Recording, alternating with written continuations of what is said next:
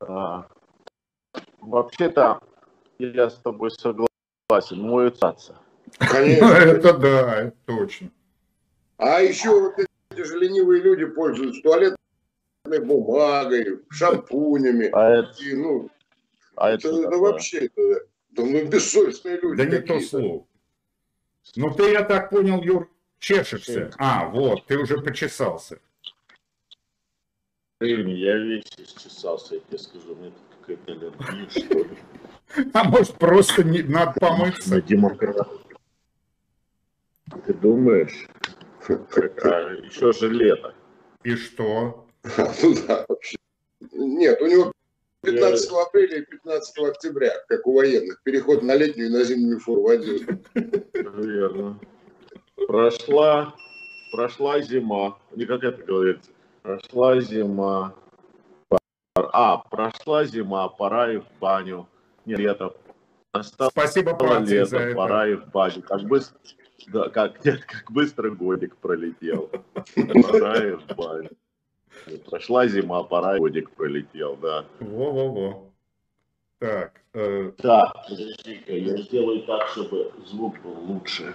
Я перешел на тему озвучивания. Опять ка- кастрюлю поставишь вот эту?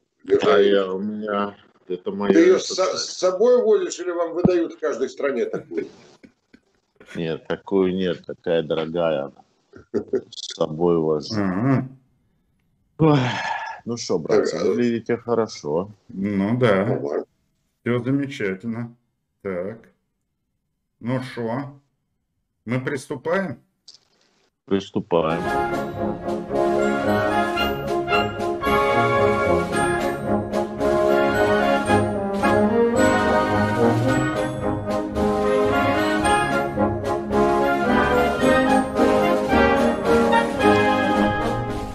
Здравствуйте, друзья!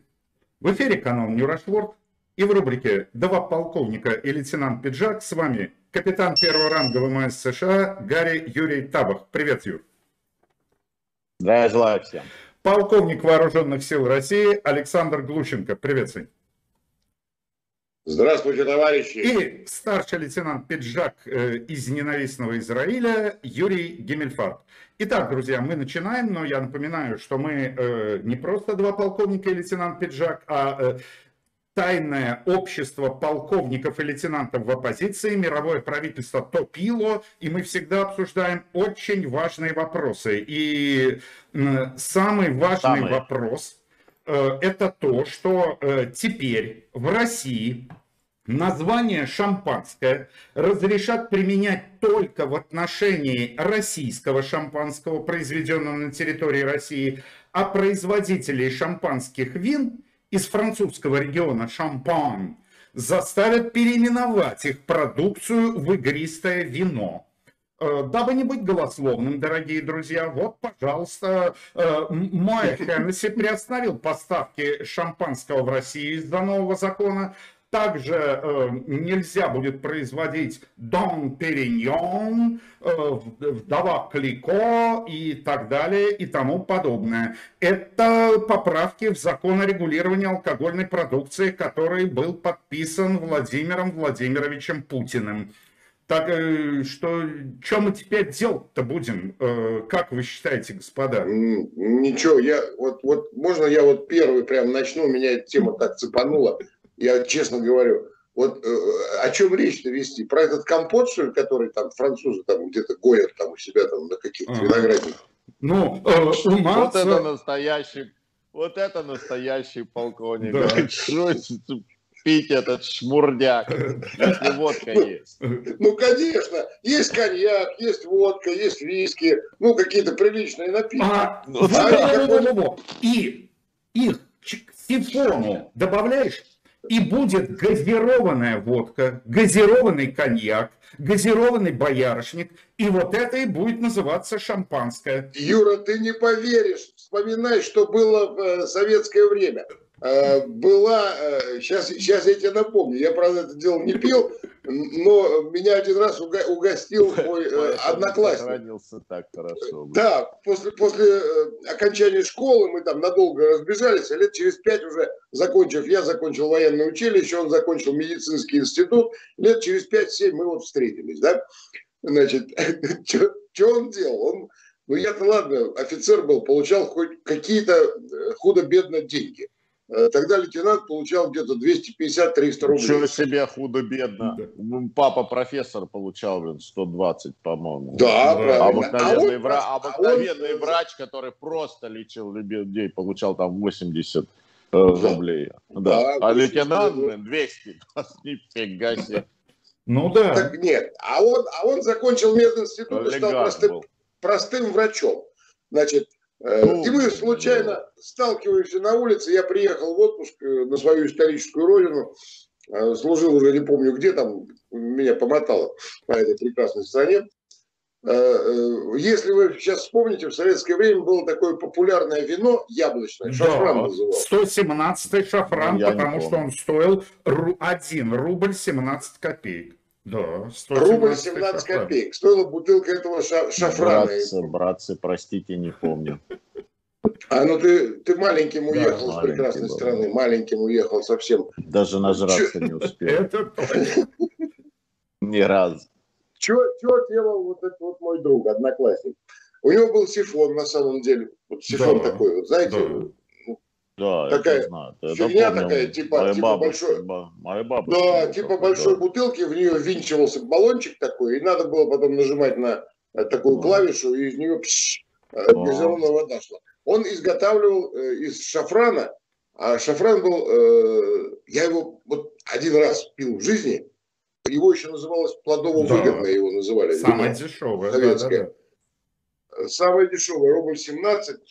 Ну и мы случайно столкнулись на улице, он меня приглашает к себе домой, заходим, берет сифон наливает мне это, в обычную фарфоровую кружку, там, керамическую, наливает, говорит, на, попей. Прекрасный лимонад. Я чувствую на вкус, что прекрасный лимонад. А оказывается, он по рубль 17 брал э, шафран, вот это вот, вино, вот это яблочное, плодово-выгодное, как его называли, э, газировал, вот этим баллончиком. И, э, значит, э, таким образом угощал гостей, товарищей, всех друзей, кто к нему приходил. И самое интересное, что в газированном виде это дрянь. Бьет по башке гораздо лучше, да, чем газированное. Конечно, всегда газированное. А шампанское, смотрите, если серьезно говорить, ребята, я, они же, они правы. Ну вот прав. Вот когда Владимир Владимирович прав, он прав. Да. Впереди. Потому что мы потому что он же ну, дает русский мир и э, Советский Союз, он же пытается всех собрать обратно. А что это такое шампанское? Шампан... Где, где это шампанское? Кто это знает вообще? Кто это видел где-нибудь? Это? Я вообще не знал, что такое есть, что это названо в честь какой-то территории маленькой где-то во Франции. Mm-hmm. Понимаешь? А он же говорит, советское шампанское, шампанское там какое-то, советское шампанское. Вот я его помню. Мне один раз даже бутылку подарили с, ним, с, с пробкой с этой, с пластмассовой да. пробкой такой там она была, пластмассовая пробка, что если по лбу долбанет, то убьет точно нахрен. Если, если вот эти французы, Э, у которых череп тонкий, а у них там это с пробкой из пробки да. сделано из этой, что если даст бошку, то не убьет она тебя, а здесь на повал будет это прям. Вот это шампанское. Ударит, ты говоришь, ударило в голову. Вот это добило в голову шампанское. Ну, много-много чего там. А, а, вот сейчас э, вспоминается мне анекдот, когда интеллигент пригласил деревенскую девушку, колхозницу, в ресторан. А она хочет показать себя тоже такая. Э, э, он заказывает шампанское. Она говорит, ой, шампанское, я так люблю шампанское. Она хочет показать, что она тоже же нет, не тяпля. Она говорит, я люблю такой аромат, такой букет, такой букет, такие бульки, да, очень люблю шампанское. А вот от пива я пердил. Ну, это да. Но, вот, Юра... А у меня, подожди, я еще, у меня еще есть военный рассказ про шампанское. Когда я служил в ООН, у нас начальником, у меня помощник был, он был на разведке, в разведроке там. А, был такой капитан Тибол, он был француз. Очень хороший человек был, десантник, французский десантник. У него такой большой десантный значок был, французы вообще. Фу, я, я, думал, большие. я парашют, парашют с собой большой носил. Ну, это почти что. Я говорю, что он к земле тянул, как якорь, я тебе говорю. И, конечно, нас приглашают 2 августа на День десантника. Русские ребята. Кстати, хорошие пацаны были. И э, командир был полковник, чокнутый, алкоголик конченый, а вот все остальные нормальные были.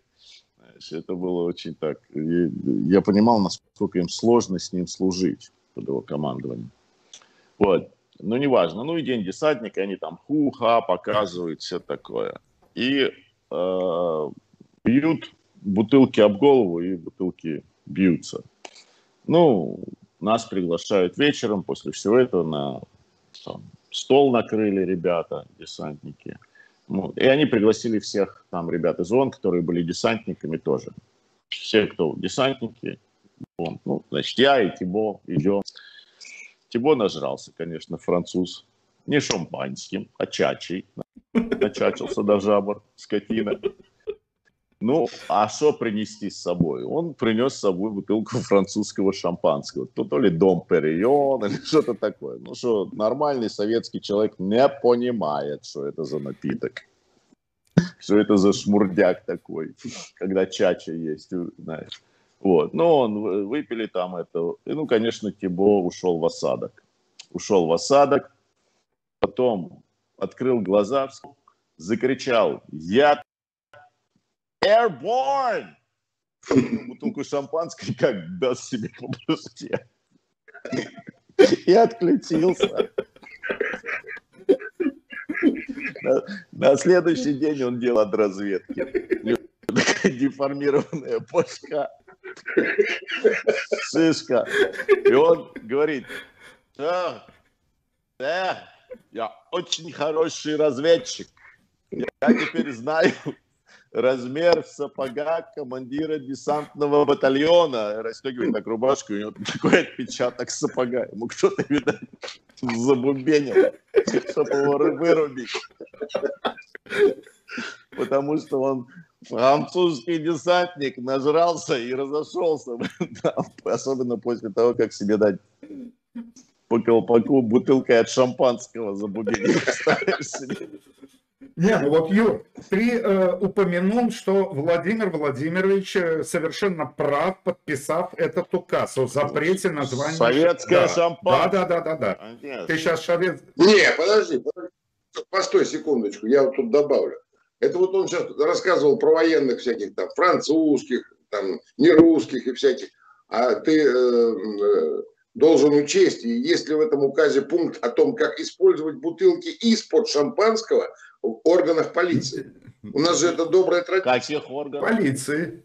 Ну, полиция, МВД, вот это все у нас вместе называется. Подожди, а это же милиция, это полиция уже это совершенно другое, другое традиция. Да. Юра, национальная традиция, колорит, а... колорит национальный, он переходит. Ты хочешь, ты хочешь сказать, что переименовали милицию в полицию, а традиции остались милицией. Да. Однозначно.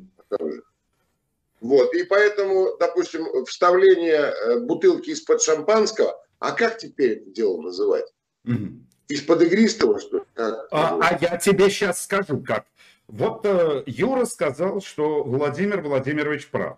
Тогда в России, я вот считаю, мы обязаны сделать подарок э, россиянам и предложить бренд. Бренд это будет называться «Вдова Путина». Вот есть «Вдова Клико», а это будет вдова Путина. Произведено в России шампанское российское брюд. Вдова Путина. А, нет, нет, нет. Вы, вы вот не понимаете... Путина, вы, если у него жены нету. Мелко, мелко смотрите, товарищи mm-hmm. офицеры, мелко смотрите. Ширше надо смотреть на это. Ширше. Ширее. Давай. Ширее, Чити, спереду. Чительнее, спереду. чительнее, как говорил Спереду надо, спереду все это видеть. Если хотите шампанское, шампанское называется из-за территории, где она находится, mm-hmm. правильно? Если это запрещено теперь во Франции и разрешено теперь в России, то кому принадлежит эта территория? Логично. То есть теперь шампань а? наш, получается. Он... Да, шампань наш, все верно. Трепещите французы. Вернул, вернул, потому что это исконно русская территория. Значит, там... Святая. Святая Русь там была. Я Значит, уверен, там что, надо будет... что Жанна Дарк была русской. Угу. Да ну, это само, это само собой все знают. Ты что, ты сомневался, ну, что Это ли? только пьяная баба может говорить. Мне Кстати, а, кстати, о бане. Говорят, она никогда доспехи не снимала и никогда не мылась. Ага. Ну, а, очень... Ой. Вот именно поэтому она и была девственницей. Девственницей вот. была, да. Я, Конечно, я, как, я тоже думаю. Как ты эту тоже... кольчугу порвешь своим причинным местом? Ну, это да, тут это однозначно. Я, я думаю, я не знаю, может быть, в молодые годы бы и порвал бы, но подойти к этому штыньку было сложно. Это да. Я думаю, что я, я думаю, что британцы-то и бежали, отступали, потому что, ну, они уже ну, видели, да. что подходит. Раз так одну подмышку приподняла, и целый пол упал. И вот тебе шампейн, блин. Кстати, кстати, о побеге британцев.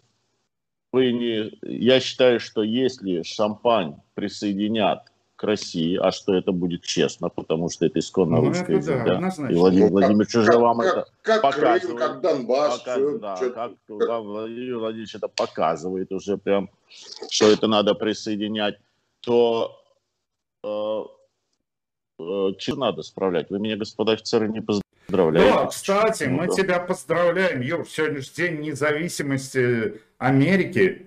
Мы тебя поздравляем. Пока, пока. Пока. Пока, потому что я уже чувствую, что скоро Техас, ну, а про Аляску я не буду даже говорить, но скоро Техас, Вирджиния, Майами, это тоже э, уже, ну, Майами точно русские, потому что там говорят только по-русски. Угу. Ясно. Вот. Я, кстати, я, кстати, вижу, даже чувствую это вот сейчас. Вот, видишь, что скоро присоединится, и 4 июля будем справлять все вместе.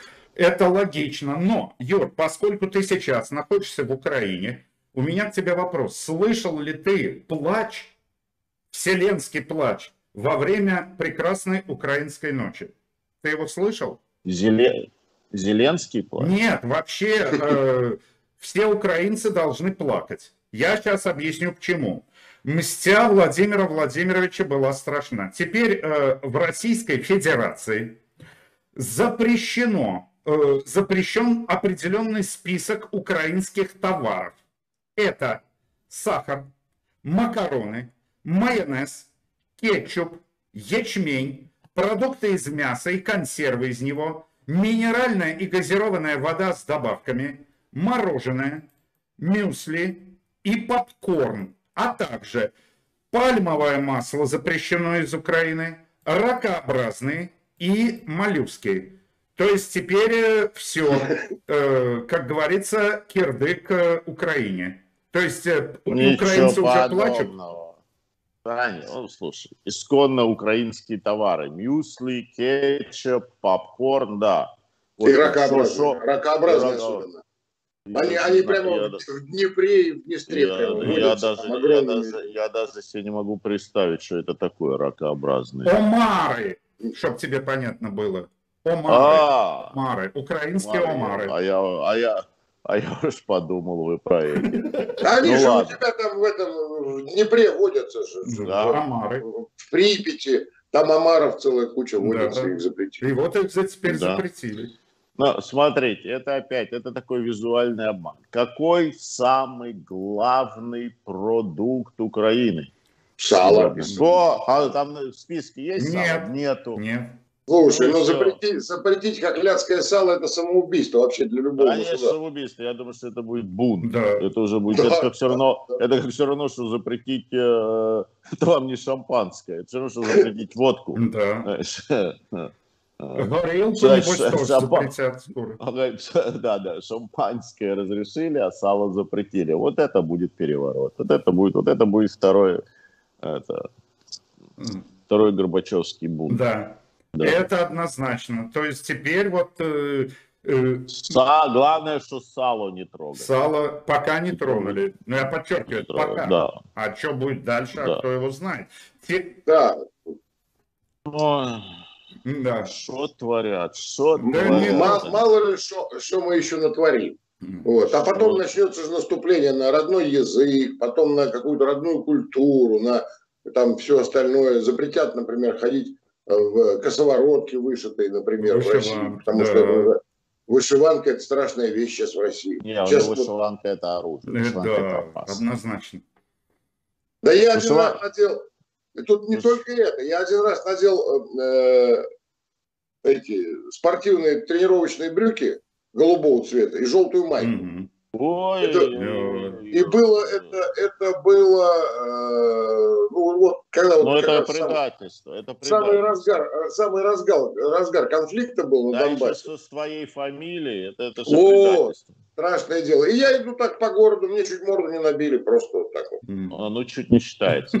Чуть не считается. Ну, нет, нет, они Нет, гуманно с тобой поступили. Хорошо, это, я быстро, быстро вот, бегаю, я, я футболист, при... я спортсмен, ну, да. я стараюсь заниматься, э, поддерживать физическую форму, я как дуну быстрее троллейбус. Ну, слушай, если ты попал в окружение, быстро бегать не поможет, понимаешь, но я тебе хочу сказать, это, конечно, оскорбление, это, конечно, ну, это я бы приравнивал это, если бы мы с Гиммельфарбом прошли бы по Ростову. Э, с израильским э, флагом. Э, не, и размахивали бы обрезаниями. Это то же самое, например, одеться в желто-блакитные цвета, Глущенко, и, и ходит он себе спокойно по улице. Это оскорбление, унижение. Слушай, а у, тебя, у, тебя, у вас что, такие большие обрезания, что ли, можно размахивать? Ну, а ты как думал? Ну, я не знаю, размахивать, не размахивать, но шатать можно. Это, это как в том анекдоте, когда женщина приходит э, в мясной магазин, колбасный, ну, в колбасный отдел, там говорит, взвесьте мне, пожалуйста, обрезочков немножко, обрезочков. Ну, продавщица такая стоит, такая подбоченилась в позе сахарницы, знаешь, и говорит, обрезки это у вас в синагоге, у нас здесь э, мелкие фрагменты. Говорят, никогда нельзя заказывать э, кальмары возле синагоги тоже не рекомендую. Ну, это да. да. Кальмары? Почему? А, они ну, без чешуи. Э, нет, в ресторане не надо заказывать кальмары. Значит, кольца кальмаров возле синагоги. Вот А, ну да, он такой трубчатый, его на, на, если он нарезанный, да? Но это мне э, другой одесский анекдот напоминает, как э, мужик приехал в Одессу, у него сломались часы. Он идет, ну, видит, нет нигде часовой мастерской там. И вдруг видит, э, дверь такая, и на дне висят часы. Э, он туда заходит, ничего понять не может, там э, благообразные раввины ведут э, очень умные разговоры. Он говорит, а вы не могли бы мне часы отремонтировать? Они ему говорят, простите, мы не ремонтируем часы. А что вы делаете? Мы делаем обрезание. Да, простите, но почему вы повесили над входом часы? Простите, что бы вы хотели, чтобы мы там повесили?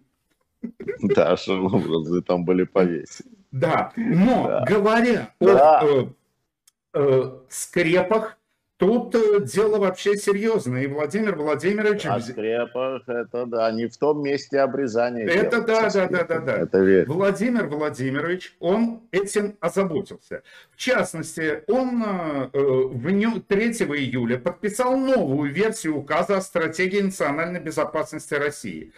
То есть теперь какие главные угрозы э, для России? Это деятельность транснациональных корпораций в интернете, вестернизация культуры, навязывание Чего? вестернизация Чего? культуры, навязывание народу чуждых моральных ценностей и разрушение русского языка нецензурной бранью в СМИ и публичных исполнениях.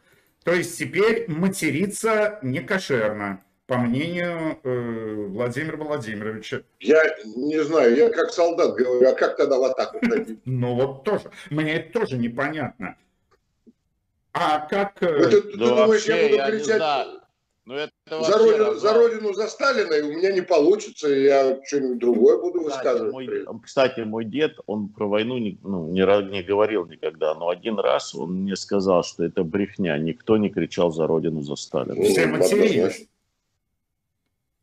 Ну да, там даже все крили, там, И «А, даже, и даже замполит, который бежал впереди, подавая личный пример, все равно матерился. Он про Сталина не говорил. Да, Не, ну я не говорю, что там... Не, Нет, ну это, это, это подрывная деятельность. Это, это не, я не верю, что Владимир Владимирович такой мог э, такой указ издать. Это ЦРУшники наши придумали. Потому что это опять же будет полный развал страны. Вот смотри, как без техник будет чинить там, блин, систему. раковину или систему, А, да. ты Или меня как там спрашиваешь? крышу будет чинить. Ну да, без мата. Как они это, как механик машину будет чинить, как, как крышу на доме будут чинить люди без мата. Ты сам да. понимаешь, вся работа остановится. Ну, Это полная диверсия и Это- развал это- страны. Примерно как бензин для автомобиля. Без этого не может Русь существовать. невозможно. Это невозможно. Мастер этому ученику будет объяснять, как точить деталь. А я тебе больше скажу. Е- Вот, например, е- э, ты хорошо, вот, а я э, скажу про наше тайное общество.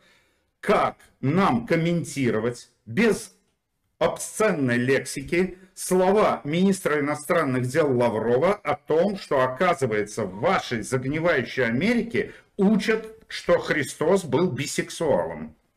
Вот как это комментировать без мата? Христос был бисексуал. Ну, так Да, наш министр вас. иностранных дел Лавров э, написал статью о том, что вот э, в странах там Запада, Антанты. в частности в Западной Европе, в Антанте, в НАТО и в Америке в учебниках по истории пишут, по истории чего я не понял, потому что исто- история религий – это отдельный предмет, его в школе не изучают ни в одной стране. Я специально начал искать источники. Вот, и я специально об этом вчера передачу целую снял, можно сказать.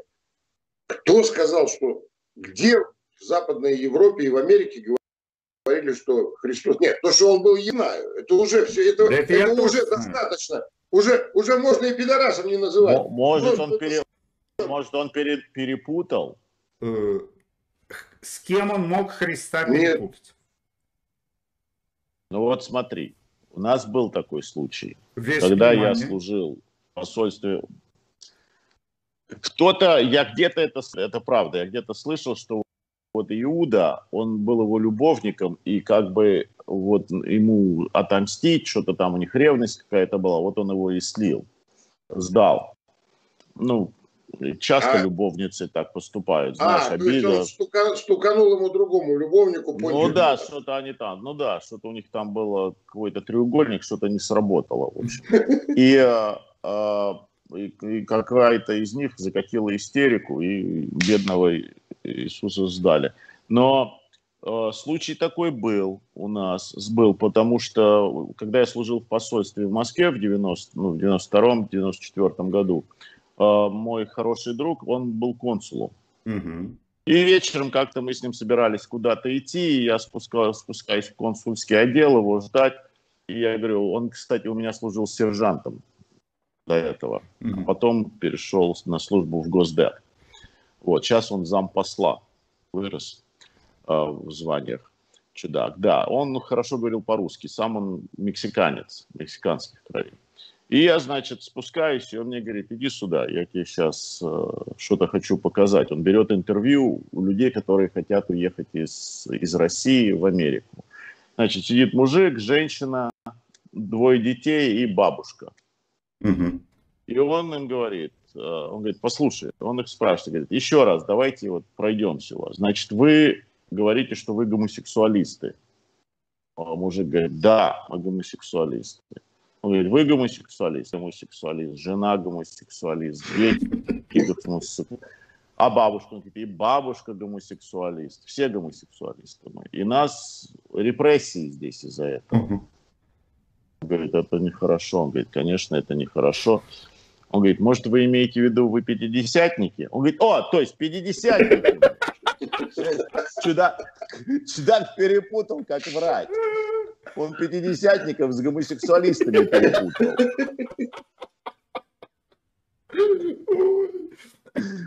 Что ты думаешь? Ну, Он им дал визу как беженцам, пятидесятникам гомосексуалистам.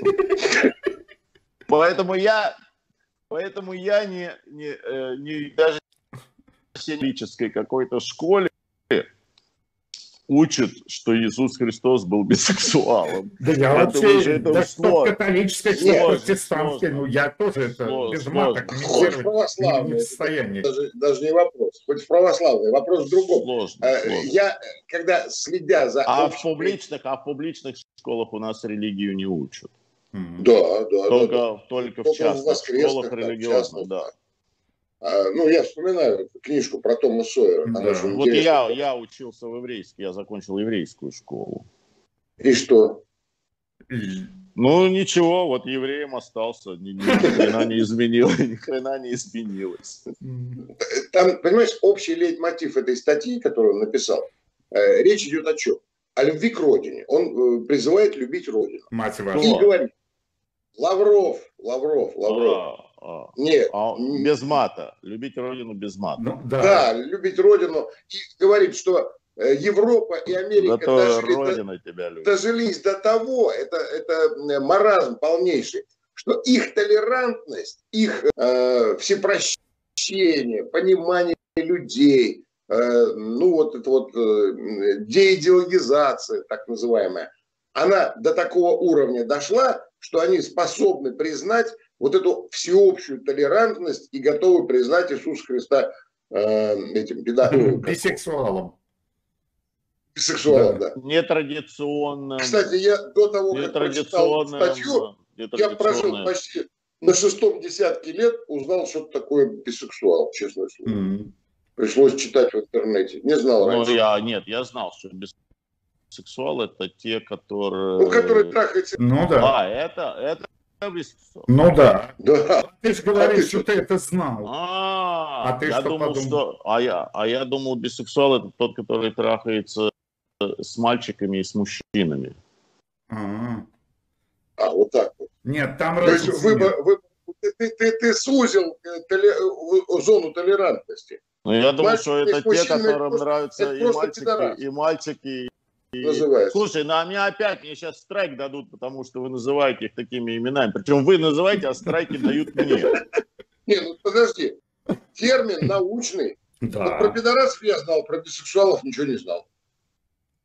А теперь Вот, Слава, тебе, вот я тебе хочу сказать, товарищ полковник, что вам чаще надо было выходить из казармы. Тогда бы вы были более освещены вообще, как люди живут в, в этом мире. Вот я тебе говорю, я тоже все время думал, что бисексуалы это те, которым нравятся мужчины и мальчики. А вы говорите, что нравятся и мужчины, и женщины. И вообще мне в голову не приходило, что им женщины нравятся. Я из казармы выходил. И когда я выходил Понял. из казармы... К я- людям, к людям, к людям надо было ближе. Нет, быть. я из казармы выходил только в окопы. А из окопов возвращался в казарму. Мне по-другому не получалось. И э, Веселая жизнь Да. у нас с тобой была, веселая, Да, да, да, да, да. колоритная. это точно. Все, что надо, все, что надо, не... ой, ой, ребята, как, так, ну, не, ну, честно, если сказать, я с, с Лавровым согласен в этом отношении, потому что у нас уже, по-моему, пере- и в Израиле тоже перегнули палку с, эти- с этим Слушай, совсем. когда я уже. начал чи- читать в интернете и в энциклопедии про бисексуализм и педерастию, я там прочитал, что у вас даже в армию призывают таких людей. Ну, у нас не призывают. Они Ну, сами имеется в виду, берут на службу. Да, да, да. Не, у нас, о, слушай, у меня служили они нормальные, хорошие воины были. Слу- Такие служаки. Я знал двоих. А Мне пофигу было, что они делают там у себя дома со своей жопой. А вот э, служили они, а служили они хорошо. Они такие были, они старались, они умные были. И старались, сильные. А, Ну, они, правда, не агрессивные. Агрессии в них нет. Ну, э, да, но... То есть э, вот так вот но- взять и бри- бритвой по горлу он не может, да? Может, но ему это не нравится. Ему это Ну не какой дает. подожди, Это ему какой не- же он сол- какой же он солдат? Ну, он это делает гуманно, наверное. Или плачет во время этого. Он с пониманием, с пониманием Ну, вообще, подходит. э, Ну, тренировать, э, тренировать любого можно это делать. И женщин, самые женщины же, они, знаешь, какие они жесткие, знаешь, какие они это, это мстительные, жуть. Они хуже Ну, мужиков это в этом да. отношении. Почему в Советском Союзе тоже во время войны самые лучшие снайпера были женщины и мужчины? А они хладнокровные. Они Хладнокровные у них есть терпение. Они, у них терпение, да, выдержка, хладнокровность, выдержка. выдержка у них есть, да, намного лучше, чем у мужчин. Мужчины дрыгаются постоянно, что-то им все время чешется где-то. А женщины, они, они хладнокровные, да. И если у них враг, так это враг. Они, у них рука не дрогнет, знаешь. Это да. Мужика. Ну вот Особенно- Поэтому- му- я так, Мужика тревог- завалить. я так тревожно сплю по ночам, все время просыпаюсь. И Правильно. смотрю направо, направо смотрю, там случайно рука не потянулась за ножом, там, за А, ядом. а у нас же был этот случай, когда Морпеху она во время ноч- ночи отрезала.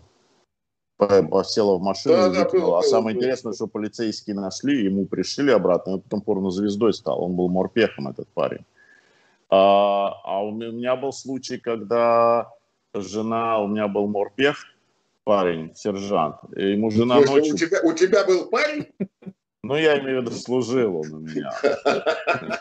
Когда Полковник Лавров, Лавров. Лавров, говорит, родину любить. Главное, чтобы родина тебя не любила, понимаешь? Родину же можно любить. Не, Так ему это жена- регулярно. Так ему жена ночью э, суперглу приклеила член к животу. Зачем? А утром, а утром у него это реакция и писать хочет. А он у него приклеен к животу. А ну, она его приревновала там кому-то, где-то он спалился. И э, она ему ночью суперглу, да, пришлось там это, в госпиталь его повезли, ему надо было там это. Так что отрезали, член или живот?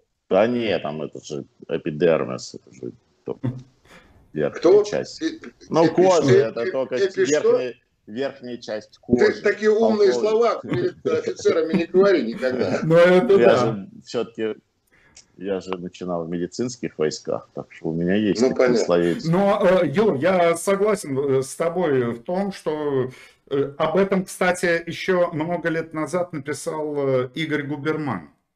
Ушли фашизм и коммунизм, зло вышло в новую как конкретность, но сгубит мир не терроризм, а блядская политкорректность. Это, это точно. написал Э, Губерман. Вот нас, она, она нас, она нас уже, блин, Так я, я один раз, душить, да, душить э, когда ушел, ушел в отставку и- из войск, ну, это давно уже было, лет там 13-14 назад, а, пришел устраиваться на работу в политехнический институт преподавателем. Мгм. ну, то есть преподавать менеджмент. Захожу в отдел кадров, а там бабенка сидит, туповатая немножко. Я ее довел до инфаркта. Захожу, она говорит, заполняйте анкету. Я беру анкету, начинаю пункты читать. А, Я говорю, так, профессия, специальность. Я на нее смотрю, так я говорю, «М, забыл, как звали, ну, неважно, я познакомился сразу, говорю, я профессиональный убийца. Она раз так, это все. А она ожидала насильника, а пришла и убийца. Она, это как? Я говорю, потомственный, я подчеркиваю, девушка, я подчеркиваю, потомственный, хладнокровный, профессиональный убийца. И лысину так погладил себе, да. Да-да-да-да-да-да. У нее, значит, сначала слезы пошли, потом она полезла под стол. А мы в кабинете вдвоем, ты понимаешь, ей стало страшно, понимаешь, вот этот лысый, здоровый мужик э, э, просто А ты заявляет, о том, говори, не перепутайте, я убийца, а не насильник. Вылезайте из-под стола. И я сейчас буду ей эту самую авторучку в глаз втыкать, чтобы убить ее, допустим, ну, к примеру, да? Или там отрывать ей уши, там, нос, там, еще что-то. Она, как? Злодей, да. злодей. Я говорю, да, да, да. А, м. Потом отошла немножко, говорит, а можно диплом ваш посмотреть? Убийца. Я ей даю, два Диплом диплома убийцы. даю. Она читает, офицер мотострелковых войск. В дипломе написано. Ну, Ну, тут же не написано, что вы убийца. Я говорю, а вы переведите на русский язык, что это такое. А вообще-то, говорит, да. Я говорю, всю жизнь я убивал, учил убивать. Это моя профессия, да, переведите, пожалуйста. Ну, это... Да, да еще ну, я Академию ну, Бишкека закончил. Да, там вообще написано специалист в области военного управления, то есть убийца высшей квалификации, организатор массовых убийств. Ты в Бишкеке учился? В Академии имени Бишкека. Ну, была, а, ну, Академия Фрунзе. Фрунзе переименовали ну, да, город Бишкек. Как теперь должна я называться понял, Академия? Понял. Академия Бишкека. Мне, мне Академия Фрунзе очень родная. Я провел немного времени вот, в начале 90-х. Я в Академии Фрунзе был постоянно. Почти каждый Ну, там, там, был. там, где у нас танк стоит на крыше, помнишь, да? Танк не помню на крыше, но помню, как офицеры жили в этих э, комнатах майора. В шайбе? В шайбе или где? Или в ПТП-2? Ну вот рядом, прям здание, вот Фрунзе Академии, рядом общежитие ну, офицерское. Есть шайба общежитие. Не, не, не. А есть 12-этажное общежитие. 12-этажное. 12 ну это ПТП-2 называется, проезд Девичьего поля, дом 2. Да. Вот. А напротив стоит бюст Фрунзе. Да. И когда офицерам хочется выпить, а возле бюста стоят две лавочки. Офицеры да, выходят верно. после лекций, после там семинаров, занятий, выходят, садятся на эту лавочку и выпивают. Мы, говорит, за Бишкека сейчас выпиваем. Да, это я помню, я был в шоке, когда я видел, как они живут. А потом, да. они, мне, а потом они мне сказали, это блатные, в этой общежитии только блатные живут. Я понял, там все были дети генералов. Да, да, да, да, да. Э, а э, неблатные жили вообще на Капотне. Где Хрен не знает где, да. Нефтеперегонный завод. На, на, на электричестве. Да, да, на, на, электри... на троллейбусе, на электричке надо было Да, там я тоже был в этом вообще. Но они меня приглашали, эти ребята. Но для меня это было, конечно, шоком, что майоры в академии так живут. У нас же это так офицеры не живут. У нас даже так сержанты не живут, там солдаты. У нас даже казармы такие. Вы все избалованные Избалован. и ужасно зажравшиеся. Да. А вдруг Абсолютно. война? А вдруг война? Ну, а вы не, не готовы, вы не а готовы. Мы, а зато мы не устали. Спать на земле, там это самое, под кроватью, там еще где-то. Нет, ну мы это можем, но дети, зачем детей так же воспитывать и жен, чтобы они спали с тобой в это все. Как это зачем? Чтобы в тренаже а, были А ты, тренаже. А, а вдруг берем, раз а мы, а мы война, берем, а они все а уже мы... готовы стать Валей Котиком и Маратом Козеем. А мы не готовы брать детей и жен на войну. Они же испортят всю войну. Ну, Сань, сам подумай. Это точно. Вообще-то да, возьми. Из-за них что-нибудь начнется там на Не, этой ну, войне. знаешь, война же это тоже своего рода как такое, что-то там есть в этом.